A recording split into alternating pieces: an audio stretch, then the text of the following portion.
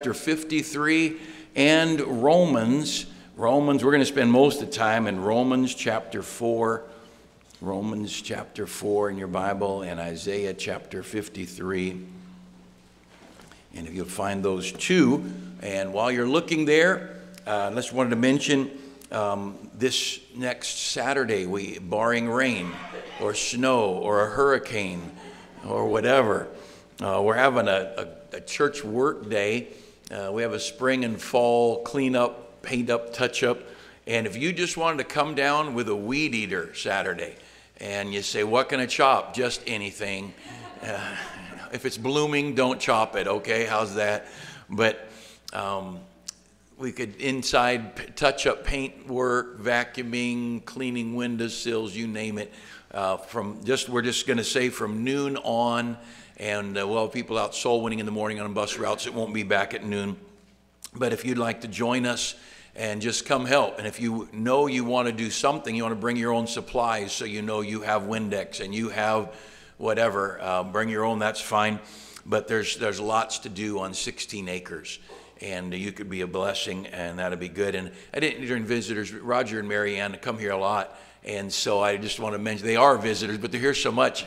Um, they've come often enough now that 2% of their tithe should be, should be here. They live over in Arizona, but thank you, Roger, and your lovely daughter as well. But anyway, just I, I felt bad I didn't mention them. If you come here often enough, we'll just ignore you. That's really terrible, isn't it?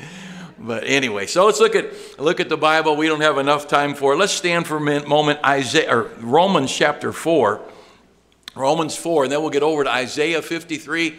If you've never read a Bible, don't know anything about the Bible, uh, today going to be some very simple things that uh, I can assure you uh, you should be able to follow, and hopefully it'll be a help to you, the youngest Christian to the oldest. And uh, we'll, we'll brush across some doctrinal things that'll help everybody. So look at Romans chapter 4, and then look down at verse 4. And this is very familiar to some of you. We're going to start with very familiar territory. Isaiah, uh, Romans 4 4. Now to him that worketh is the reward not reckoned of grace, but of debt. But to him that worketh not, but believeth on him that justifieth the ungodly, his faith is counted for righteousness. And we'll read some more in a moment, but let's pray. Father, would you speak to our hearts today? Help us from the newest teenager just come along, maybe riding on a bus or with their family, or to our folks who've been here for decades, we ask you to teach us and help us, and that your Holy Spirit would work here. We want you here. We want your blessing. We want to be useful to you and honor you. We want our homes to be helped. We've got some young folks uh, planning marriages, and, and we want them to build their future on you, and, and that you would help them in this world that's such a mess.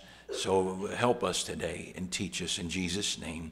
Amen. You can be seated. Uh, hold your Bible open there in Romans chapter 4. And uh, this today is, uh, like I said, a familiar starting point. But um, I love to tell the story for those who know it best, seem hungering and thirsting to hear it like the rest. And uh, don't ever lose the wonder of the simplicity of the gospel. And so, just starting out, uh, notice this there's some key words I want you to notice. In verse 4, now to him. Now, he's talking about salvation and, and how you can find yourself righteous, not in the eyes of men, because that's too shallow, but righteous in the eyes of God. And that's key, because if you're going to go to heaven, you have to be righteous before God, which none of us are righteous in our own. And you'll see that in a moment and uh, if you know some Bible, don't, don't cut me off yet. I'm getting there. And uh, uh, I've already argued all the arguments that you could argue, and we could together agree. But uh, we're gonna, I'm just taking the slow boat, okay? So give me a chance to get there. So Romans 4 4. Now to him, there's that first word I want you to notice. To him that what? Worketh. This is a guy who works to be righteous and works to be good and works to be what he's supposed to be uh, works to be religious, works to be the good neighbor, works to do all the good. He, he comes over and washes the pastor's car. That'd be all right. Uh, to him that work, better yet, wash the pastor's wife's car. That's really good. Now, to him that worketh is the reward not reckoned of grace, but of what? Debt. Now, grace is something God gives you that you don't deserve. That's the word grace. God's riches at Christ's expense. Grace is, the Bible says we're saved by grace. Hey, guys, you don't have to be here. But if you're here, you do have to be quiet, okay? Uh, love you, glad you're here, but you're not going to disrupt church. You can slip out anytime you want. Um, the, the reward is not reckoned of grace, but of what? Debt, all right? So I need a worker guy up here. Benny, you look like a working man. Come on up here. All right, so we're going to put Benny to work. You just stand right here, somewhere where you won't fall down. And I was supposed to bring this giant sign from home, and I left it at home. So this is the best that I know how to print on our printer. And if you can't read that in the back, sit toward the front. It says work, all right? So now to him that worketh, this is the good guy, honors his mother and father, and, and he doesn't shoplift, and he, he doesn't eat thirds on ice cream, and He's good, all right? To him that worketh is the reward not reckoned of grace, but of what? So, what is this guy? He's a debtor. He's a debtor, all right? And I'm, we're, I'm just quoting the verse we're just reading there, uh, verse Romans chapter 4, verse 4. Uh, so, to him that worketh, this guy's working. He's going to church. He's doing all the religious do's and don'ts, and he, you know, kisses the pastor's ring. And don't do that. What a disgusting thing. Leave my ring alone. Um, he, uh, he, he's working all the religious duties. He's working as a religious guy, a good guy, and the reward is that he is a what? Debtor, according to that scripture. To him that worketh is the reward not reckoned of grace, but of debt. All right? Very simple. We're not going to spend a lot of time on it. Verse 5. But to him that worketh not. So here's a guy He's not trying to be religious. He's not trying to be the best guy on the block. To him that worketh not, but what's that next word? Believeth. So I need a not worker, Joseph. Joseph is the non working person. Come I want to stand by, by Benny uh, over here. You are the work not. Don't let your mom find out. She'll beat you. Uh, this guy, he's not trusting his good deed. That doesn't mean he's not good but he's not trusting his goodness. It's a big difference. Um, to him that worketh is the reward not reckoned of grace, but of debt. So the guy who's trying to work his way to heaven ends up being a debtor. But to him that worketh not, but that next word is the key. But what? Can you hold two pieces of paper at once, Joseph? This is hard. Um, to him that worketh not, let's reverse them. There we go. My, my OCD. Oh, that's funny. no OD, o, ODC, uh, AC, AD, anyway, ADD. to him that worketh not, but what? Believeth. Look there, verse 5. But to him that worketh not, but believeth on him that justifieth the ungodly, his faith is counted for what? Righteous. So this guy, he puts his faith in Jesus Christ and he is counted, not that he is righteous, but he's counted as what? Righteous. And this guy who is doing his very best to work and be religious, he's doing everything the person, the religious, whoever, whatever church you go. He, one guy came here one day, we were talking, and I asked him about his salvation. He said, Look, I was baptized in the Mormon church and the Catholic church and the Baptist church. He said, I got all the bases covered. Man, we better get to faith and not works here, my friend. So, to him that worketh is the reward not reckoned of grace, but of debt. But to him that worketh not, but believeth on him that justifieth the ungodly. Who justifies the ungodly? Jesus did. God did. Jesus did when he died on the cross. He justified the ungodly. The word justified means just as if I'd never sinned.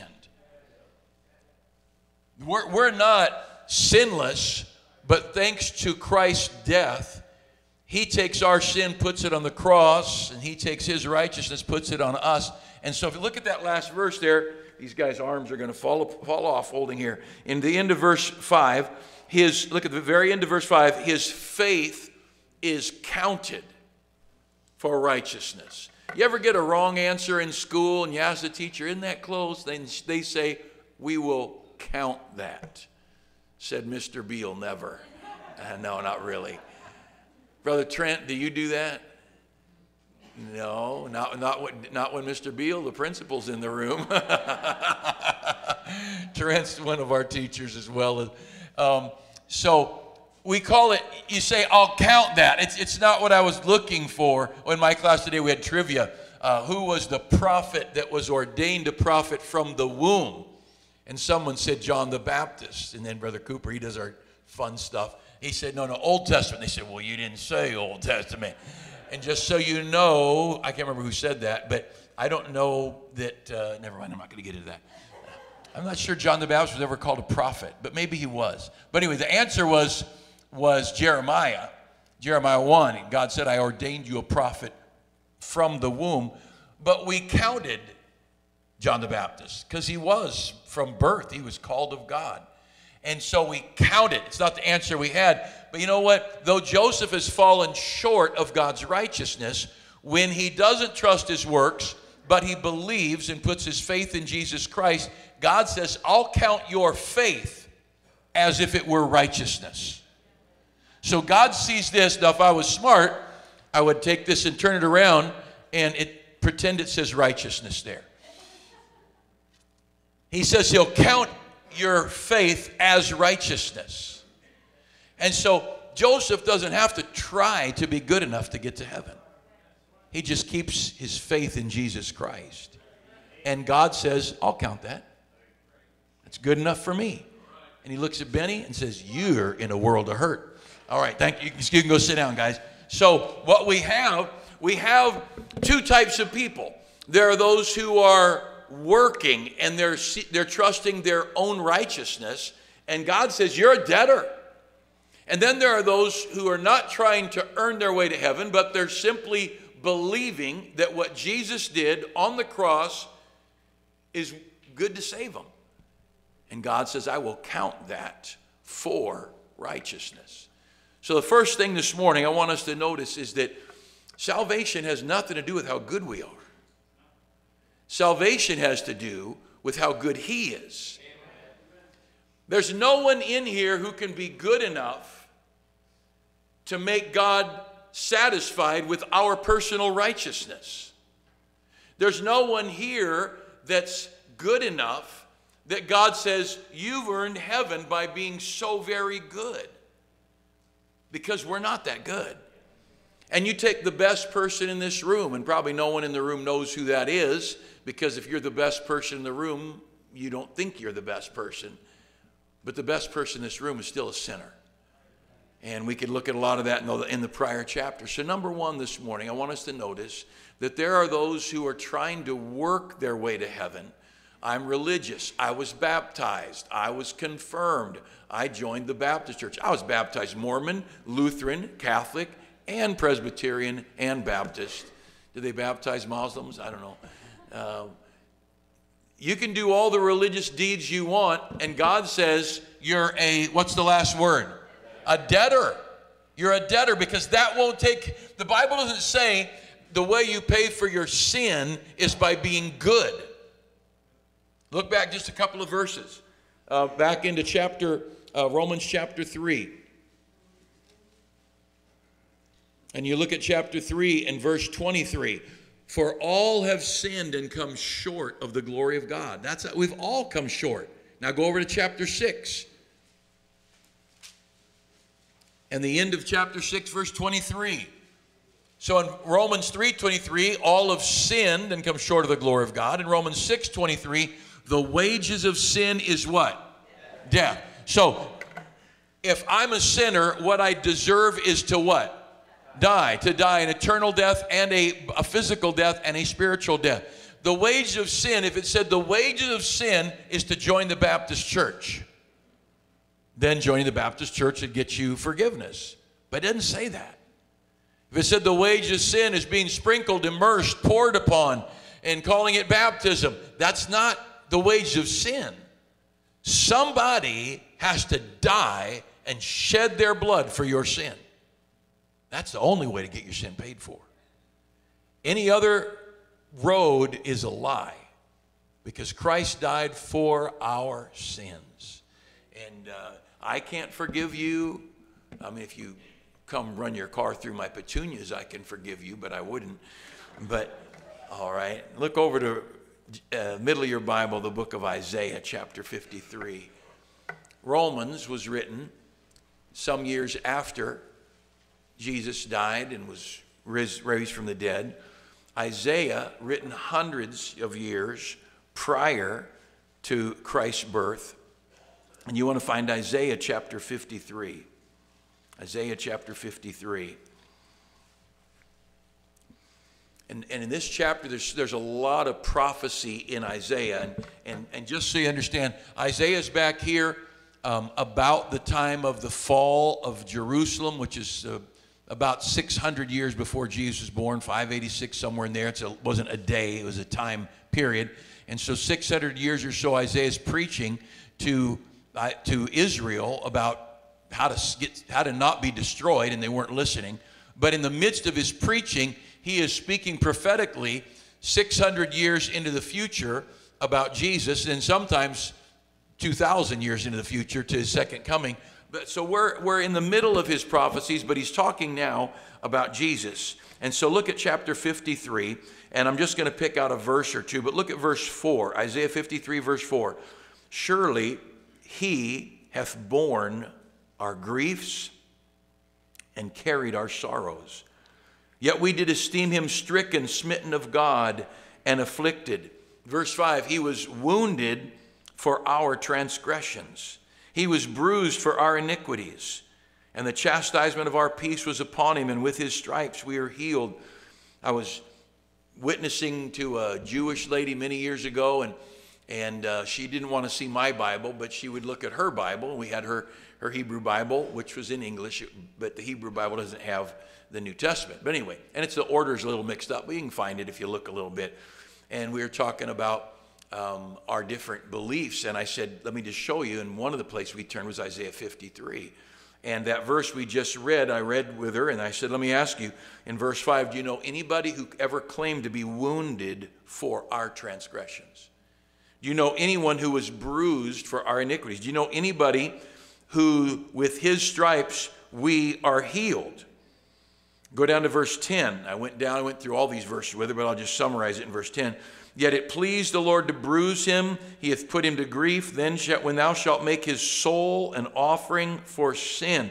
I asked, do you know anybody, anyone in the whole history of the world who ever claimed that their death was an offering for the sins of all mankind? And it's so funny. She looked at me, she said, Well, Jesus, I guess. Yeah, yes, ma'am. It was he's the only one. And it's in your Old Testament. She didn't want to see Jesus in the New Testament, so we just showed her Jesus in the Old Testament. But what we're looking at here prophetically is one of the most amazing things. Look at verse 10. Yet it pleased the Lord to bruise him, he hath put him to grief.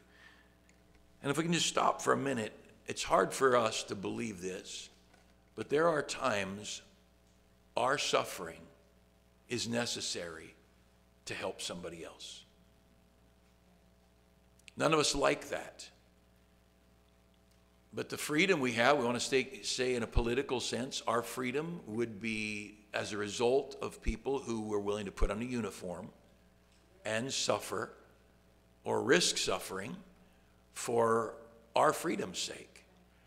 Um, you young people, whatever kind of a home you're in, if the if a mom or dad or grandpa or grandma or somebody went to work and paid the bills to, and brought money home to provide for your needs, somebody suffered for your sake. Only in this sake, it's an eternal case. Look at verse 11.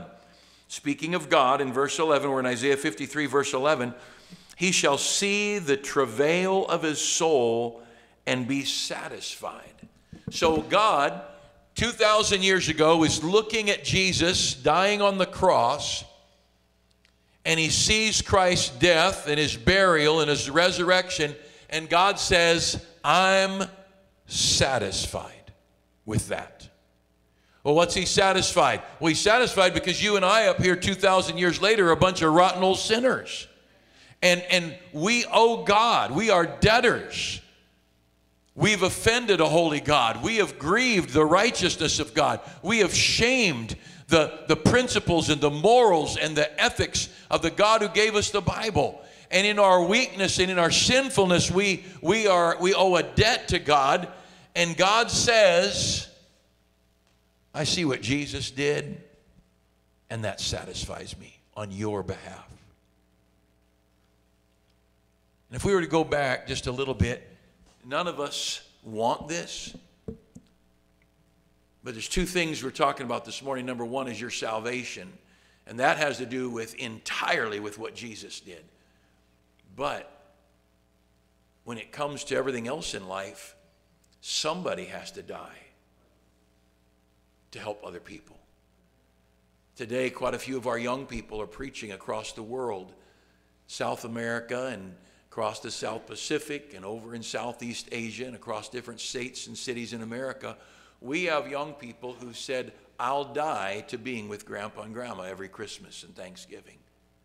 So that somebody in Belize or Thailand or the Philippines or somewhere else could hear the gospel.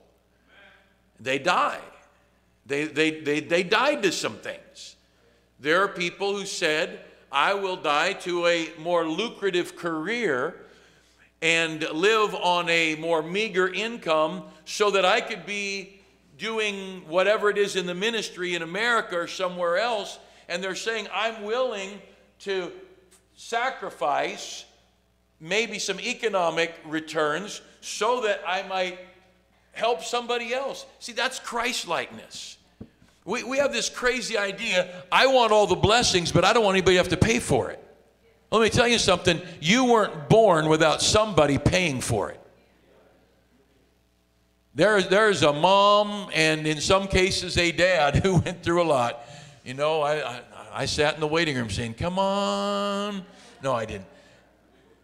There's a mom who went through a lot. You, you and I weren't, we didn't breathe our first breath before somebody hurt so we could live.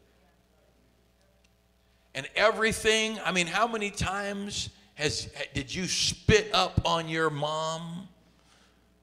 Burp them away from you so they don't spit up on you. But anyway, how many times did somebody get up in the middle of the night because you were sick or you were scared? And how many times did your parents come up with money so you could go to this or do that or wear this or have a whatever it is you wanted? And for your and my entire life growing up, somebody died every day. By the way, kids, you ought to be thankful for that. Adults, we ought to be thankful for that. Um, I don't think we quit owing our parents. And so somebody died of, uh, from their the, the, the, lack of sleep. They didn't die, but they died to sleep. Uh, somebody, the, the free time they could have spent, the hobbies they could have had. You know, at some point, just say a word to you that are raising children.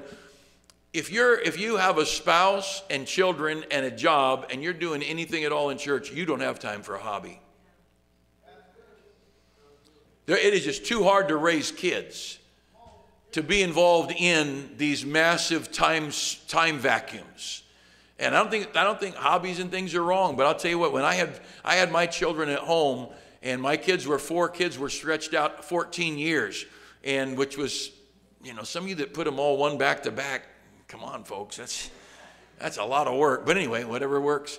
Um, but we had a, our oldest was 14 when our youngest was born, and um, was full time. I had one goal my marriage and my children. That's two goals, but my home was my goal. I had one goal my family. And of course, in that, I had to find a way to pay bills. And in that, I had to find a way to train these children and, and teach them to work and teach them to, to take care of their, their own needs. And, and uh, somehow, look, I didn't, there's a lot of things I could have done. I didn't, I just didn't have time to go play. Not have my kids turn out right. Look, I want my kids to grow up and be rich and take care of me when I'm old. I've succeeded in my kids growing up. The getting rich part is very unlikely to happen. in our lives. Train them to serve God, all right? So if you look at verse 10, back to this matter of salvation, we're in Isaiah 53, verse 10. Yet it pleased the Lord to bruise him, he hath put him to grief.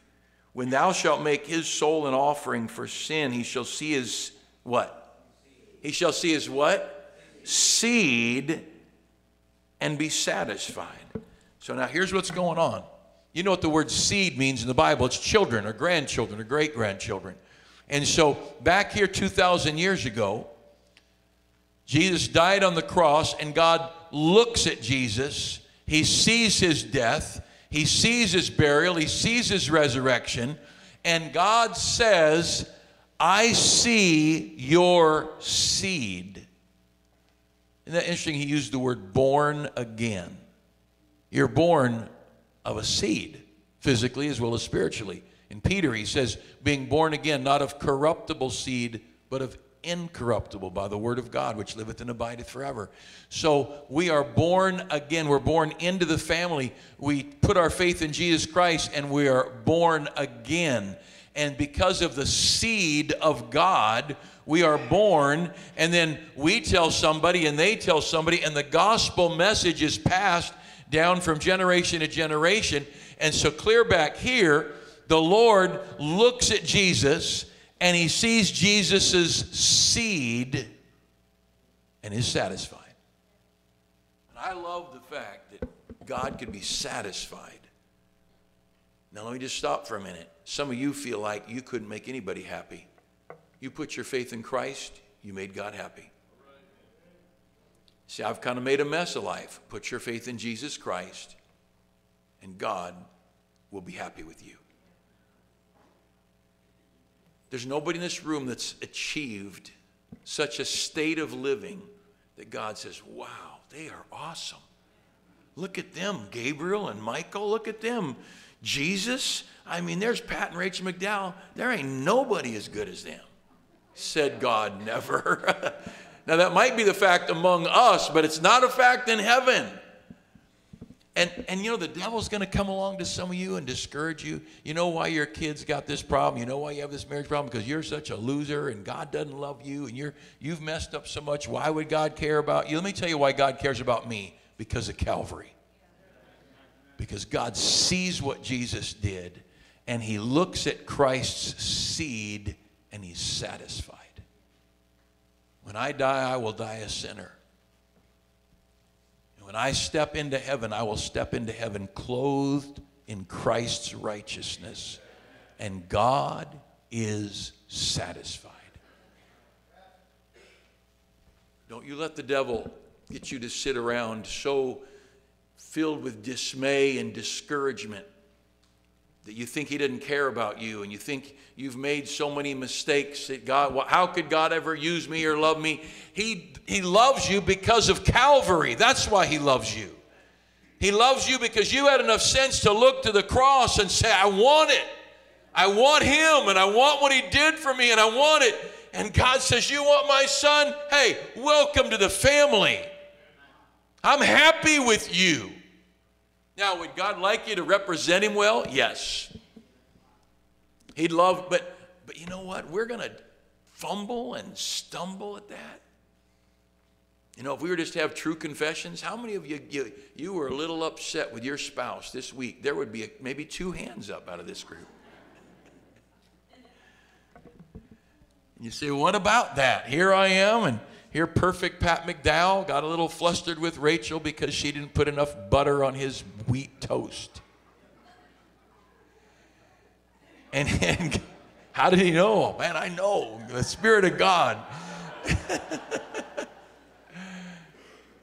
God looks at Pat's frustration with his perfect wife and he sees it paid for on Calvary. And so that sin of being frustrated with a perfect woman, which all of us married, that sin that you committed, God saw it paid for when Jesus breathed his last breath.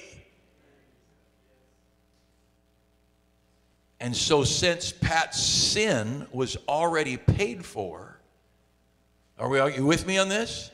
Since Pat's sin was paid for on Calvary, and God saw that Pat was going to put his faith in Christ, and saw that Pat and Rachel, though they were perfect in the eyes of people, that they were needing to be forgiven, all of their sin was paid for on Calvary. And then when they put their faith in Jesus Christ, they were born into the family, his seed, they became his seed, and God sees what Jesus did, and he sees his seed, and he says, Wow, perfect children. That's why it's the biggest lie you ever heard to have some preacher or reverend or rabbi or whoever tell you how good you have to be to get to heaven. That's a lie. Because you couldn't be good enough to get to heaven. I couldn't be good enough to heaven. I couldn't punish myself enough to pay for my own sins. I couldn't flog myself. And you hear these some of these third world countries where people at Easter time will crucify themselves and try and, and punish themselves to atone for their sin. My blood is so sinful, I could shed every drop of my blood and it would yet to pay my sin debt. Takes perfect blood to pay my sin debt. And so God says, I'll see the travail of his soul, not the travail of your soul. Over in Ezekiel, God says, uh, You think I have pleasure in the death of the wicked? I have no, no pleasure that the wicked should die. I want the wicked saved. I've, I've had on a couple occasions people picking on me a little bit, kind of accusing me because I was good to people who were bad. Gasp. That puts me with Jesus. He's awful good to sinners. I'm glad I've got a Savior who loved a sinner.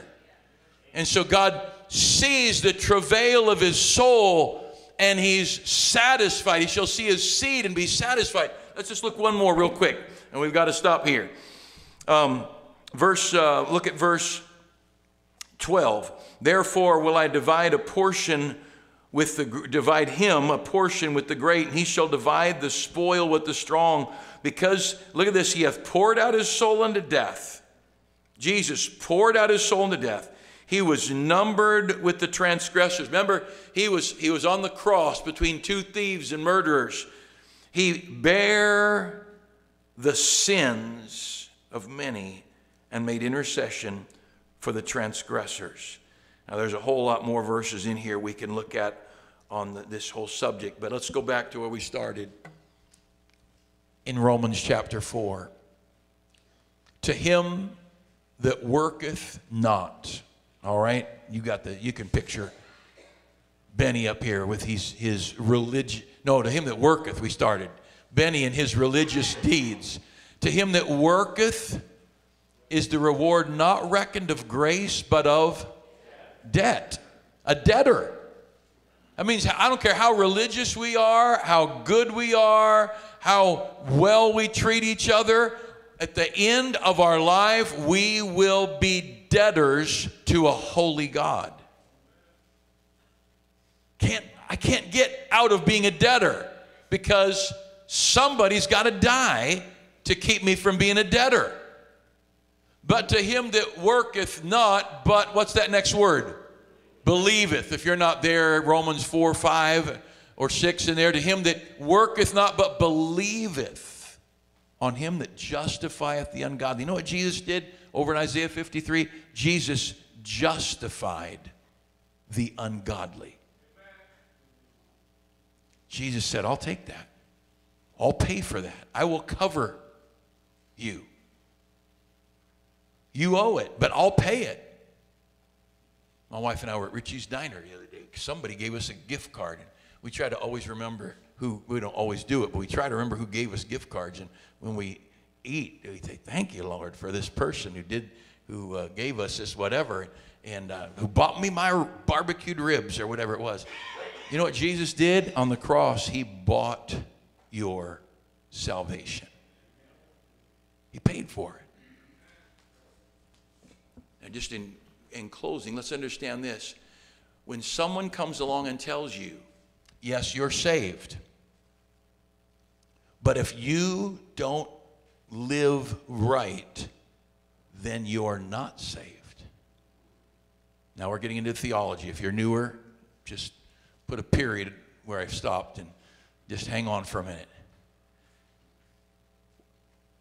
I'm born here in, in May 1957. I know you're shocked. May of 1957.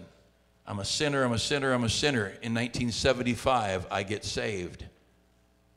And God justified me, right? To him that worketh not, but believeth on him that justifieth the ungodly, his faith is counted for what? Righteousness, Romans 5 5, Romans 4 5. So, there in August of 1975, when I put my faith, I believed the gospel and put my faith in Christ, my faith was counted for righteousness, right? Right? Okay, you all good, good with, with that? So I am now righteous.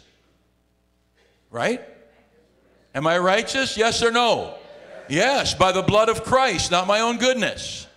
So now, 50 years later, we're in 2023, and I pull out in the street, and someone nearly hits me, and I speak in tongues. Yamaha Kawasuki says, and I say a few choice words I learned from Don House, and and um, I'm a sinner. Oh, I sinned. Wait a minute. Am I a sinner or am I righteous? My vertical, I am righteous before God. Now, the guy who I explained his driving errors to, he thinks I'm a sinner.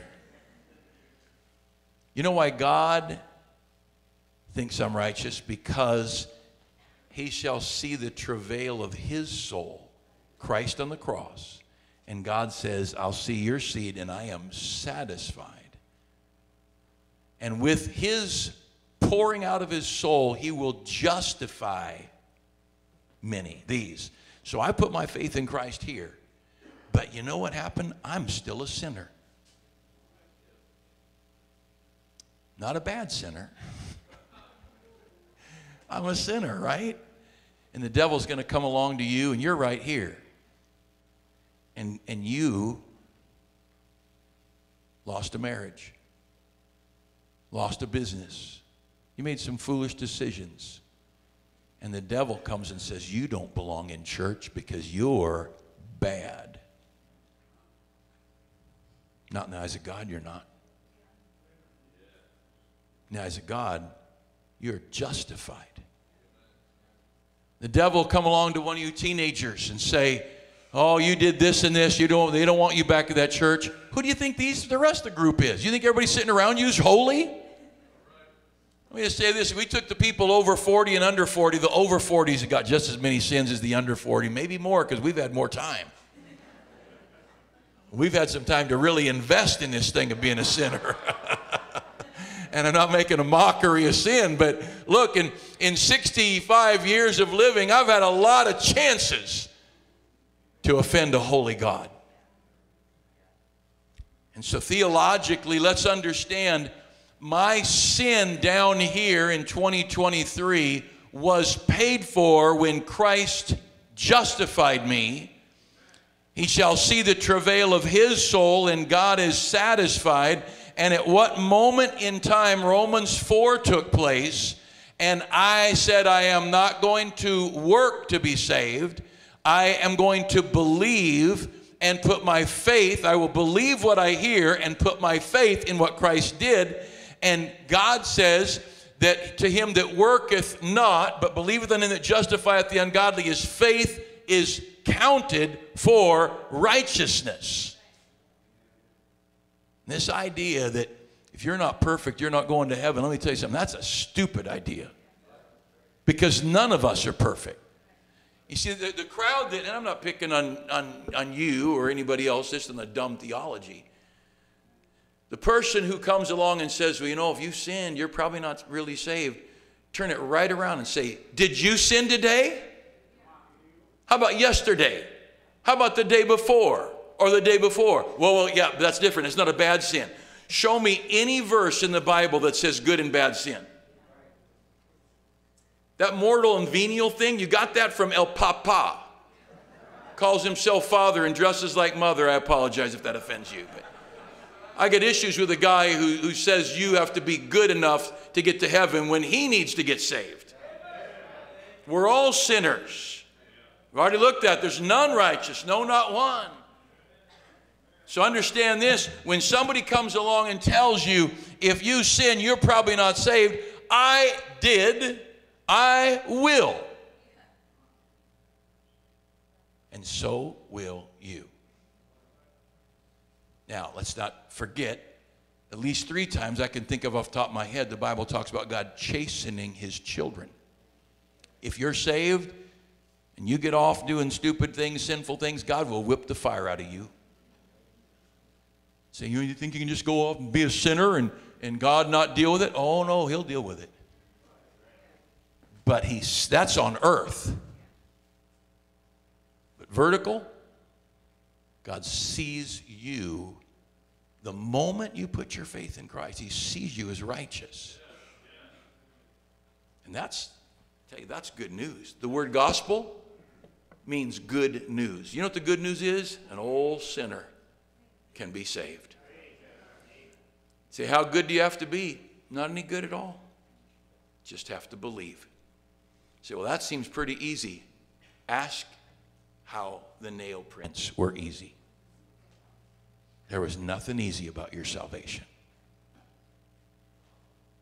The blood that was shed to pay for my sin was the most painful, miserable hours any human ever lived. My salvation was not easy. I just got a gift that cost someone else dearly. And don't get acting like, and don't let anyone convince you that some self righteous religious person somehow achieves some higher level. Because the best Christian you know is a sinner. And we're saved by grace.